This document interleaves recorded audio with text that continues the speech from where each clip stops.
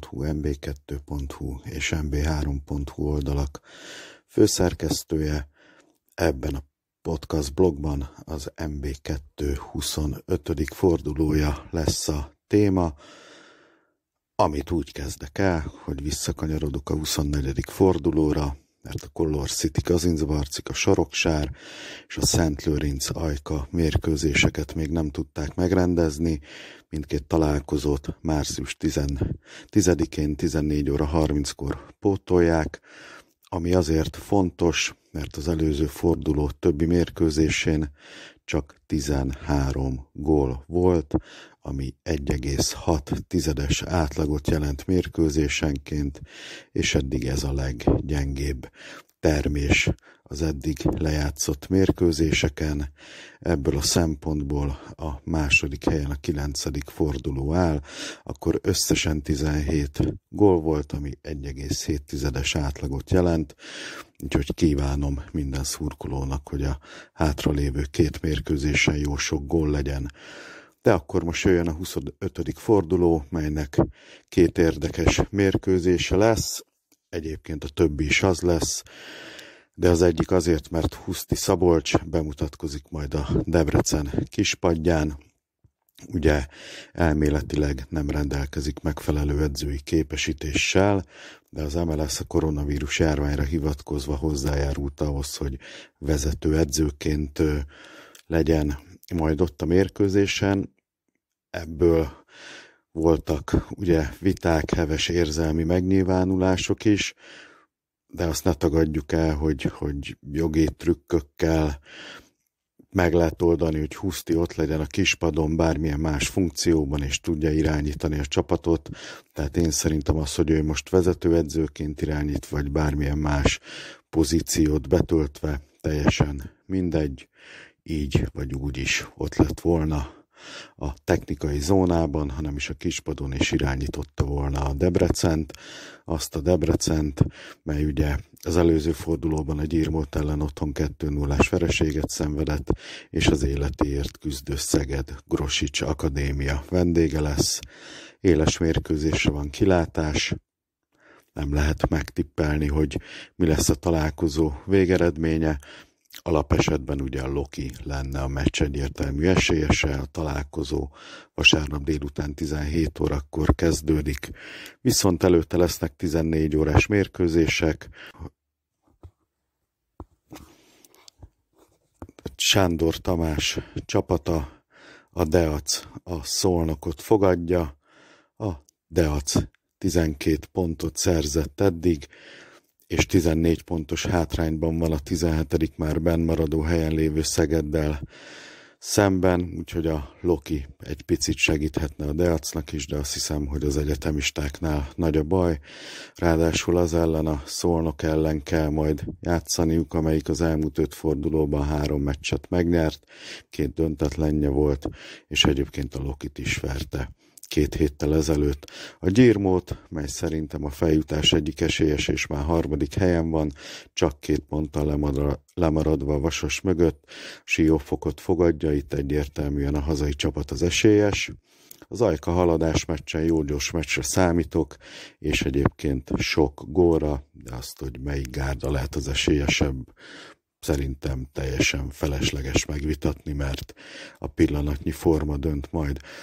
A Pécs-Csákvár mérkőzésre elmondható, hogy a Pécs egy picit visszafogottabban kezdte az őszi önmagához képest a bajnokságot, ám nem szabad elfelejteni, hogy a mecsek aljaiak újonc csapat, és minden eddigi eredménye elismerésre méltó, és akármit is ér el, majd a Pécs kiesni biztos, hogy nem fog. Egy újonctól meg a biztos bennmaradása alapvető elvárás minden szinten, minden bajnokságban úgyhogy le a kalapot előttük.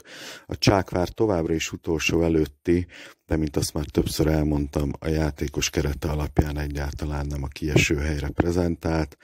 12 9. jelenleg 23 ponttal, és szerintem majd szép fokozatosan halad előre továbbra is a tabellán, még akkor is, hogyha esetleg a meccsek alján nem nyer majd.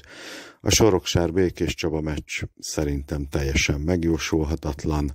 A két csapat között ö, egyébként négy pont különbség van a tabellán, és azért, mert a Sori otthon játszik, egy picit esélyesebb a, bem, a győzelemre. Dorog, Color City Kazincbarcika, ugye a Dorog már nem tud otthon játszani, menekül a kiesés elől. Fenyvesi László nagyon jól összerakta a télen egyébként megerősített csapatát, Pacsi Bálintal viszont egy picit beragadta tavaszi rajton a Kazincbarcika, és már kieső helyen van, úgyhogy mindenképpen nyernia kellene éles, nagy feszültséggel megáldott mérkőzésre számítok.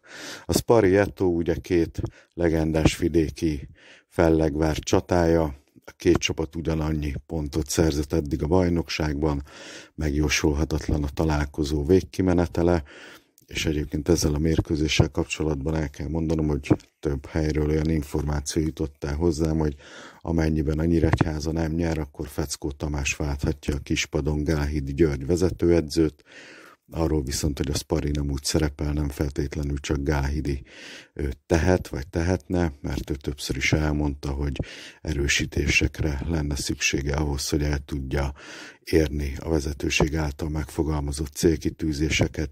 17 órás meccsek közül a Szeged Loki meccsről már beszéltem, van még a Kaposvár Szent Lőrinc meccs ebben az időpontban. A Kaposvár és a Szent Lőrinc is az életéért küzd, a vendégek kapták el jobban a tavaszi rajtot, itt is megjósolhatatlan végkimenetelő mérkőzésre számítok, ugye a tája Kaposvár meccs hullámai még mindig érezhetőek, azért nem lehet tudni, hogy mennyire nyugodt Várhidi Péter legénysége, viszont egy zakó esetén akár újabb hullámok is gerjedhetnek, de nem olyanok, mint amik a tájamérkőzéssel kapcsolatban generálódtak, hanem egészen más dolgokra gondolok, mert lehet, hogy akkor változtatni kellene, mert azért az elég kemény lenne a kaposvár. Adott esetben mondjuk előbb vagy utóbb kieső helyre kerülne, és ettől már nincs messze, mert csak négy pont választja el a Kazinc Barcikától. A forduló záró mérkőzése 19.30-kor lesz a Vasas és a Budaörs csatája. A Budaörs augusztus végén intézte a Vasast, és az volt az a mérkőzés, miután Bene Ferencnek megköszönték az angyalföldi vezetők az addigi munkásságát, találkozónak azért picivel inkább a vasas, vasas az esélyese, két csapat között ott pont különbség van a tabellán, de ugye nem szabad elfelejteni, hogy a Budaörs nem tudja otthon játszani a hazai mérkőzéseit, hanem Tatabányára kényszerült albérletbe, viszont a héten már rámehetett a csapat az épülő létesítményben a centerpályára, az mb2.hu megtalálható a képek, hogy hogy halad az építkezés, és nagyon szép stadion lesz, nagyon jó környezetben. Ezt a meccset viszont majd az Ilovski Rudolfról elnevezett stadionban vívják meg egymással a felek, és ha a Vasas nyer, akkor újabb lépést tesz az NB1-be való kerülésért, ám további nehéz mérkőzések várnak a piros kékekre is.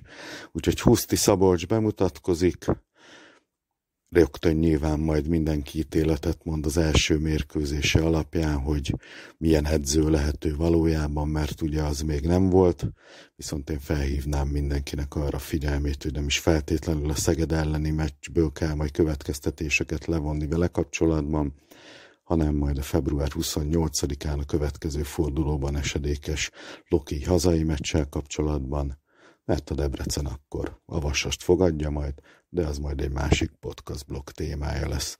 Jó szurkolás mindenkinek, maradjatok velünk, sziasztok!